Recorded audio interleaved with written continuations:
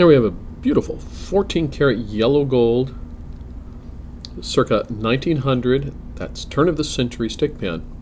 It centers a, an estimated 0.05 carat European cut diamond. Yeah, just focus that. There we are. See if it's really a fine stone too. Let's take a look at the sides, so you can see both condition and workmanship very well. Pause this video anytime you want to take a closer look at something. There we are.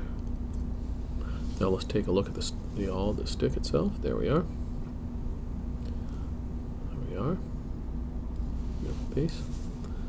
Now, the piece here is from here to here, 12 millimeters. And it weighs 1.3 grams.